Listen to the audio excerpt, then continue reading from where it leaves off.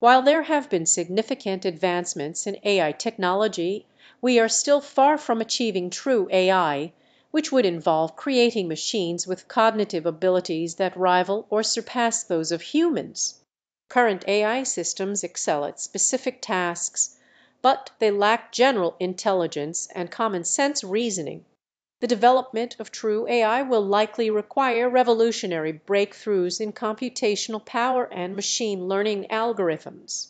It is an exciting area of research with enormous potential for innovation and impact.